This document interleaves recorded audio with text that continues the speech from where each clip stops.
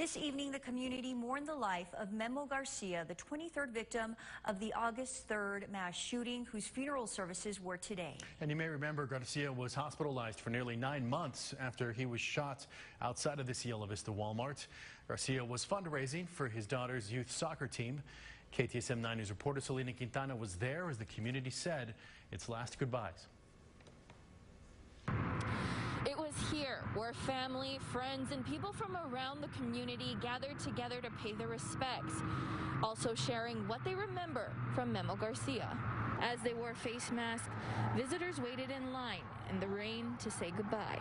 We're having a social distance, we're having to wear masks, but it was important for us to show that support to his family and, and for him too, so that he can see that he was very loved and his family knew that as well. Many described Memo as a fighter. We were all hoping that in a couple of years from now we were going to look back at this with him. It, it's tough, you know, that it ended this way, but you know, he was a warrior, as Jessica's mentioned several times, and he won many battles. The large gathering showed how important he was to the community.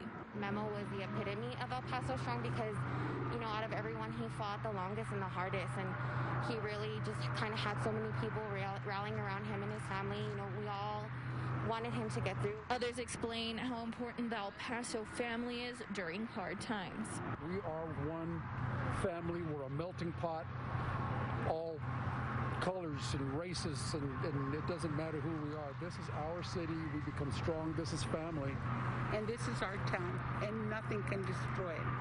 Nothing.